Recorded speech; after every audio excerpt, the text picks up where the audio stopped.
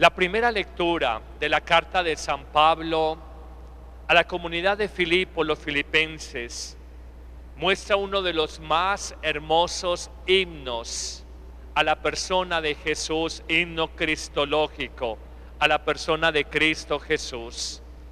Fundamentalmente este himno de la primera lectura de hoy es un canto de alabanza, de reconocimiento a que Cristo, siendo Dios, siendo grande, siendo eterno, se hace hombre, se hace pequeño, se hace temporal, se hace terrenal.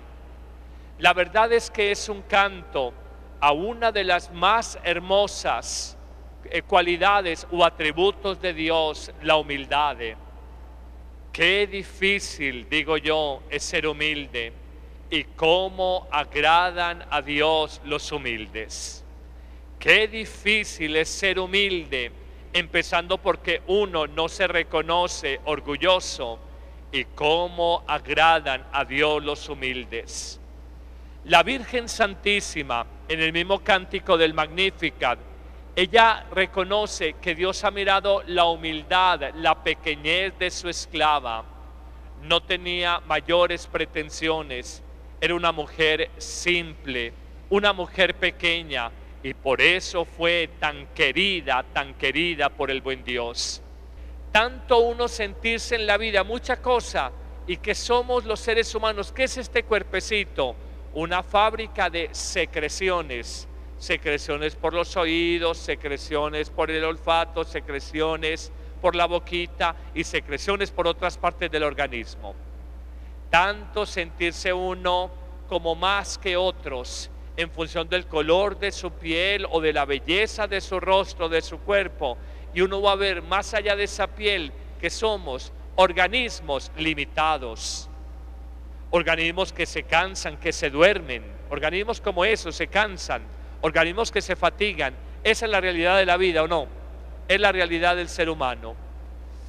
Uno mira, todos necesitamos amar y ser amados ricos y muy ricos, pobres o muy pobres, todos en la vida buscamos de manera más o menos consciente la media naranjita, la media costillita, la consorte, la mujer o el hombre que complemente mi vida. Si no hay esa opción por el matrimonio, se busca la familia. Pero en lo esencial, todo ser humano necesita sentirse amado y necesita a quien amar la alegría de querer a otra persona. Eso que uno consiguió unos pesitos, eso de que uno ha viajado un poquito, eso de que uno colgó en la pared unos cartoncitos académicos y de pronto un posgrado, de que estudió en la universidad o de que sabe inglés o francés, son accidentes, pero en lo esencial, en lo esencial el ser humano es igual, es igual.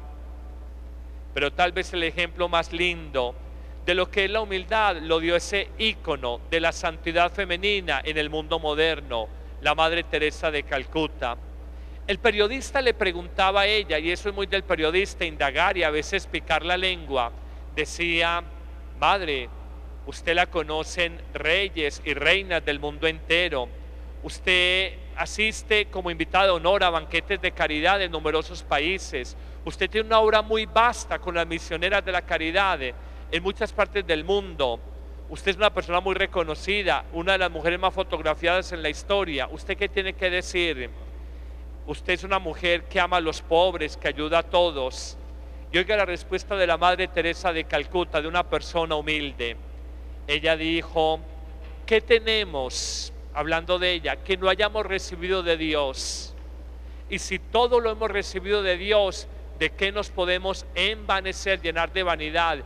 ¿De qué nos podemos enorgullecer? ¿Quién le dio a uno la inteligencia? ¿Quién le dio la habilidad para hacer pesitos y levantar negocios y otros que tienen ojo para un sucio, negocio que montan, negocio que quiebran? ¿Por qué tú tienes esa habilidad? ¿Quién te la dio? ¿Quién te dio, no sé, la posibilidad de viajar, de conocer? ¿Quién te da la salud que ahora tienes? ¿Quién te da todo? Esa respuesta de Madre Teresa de Calcuta no puede ser más sabia.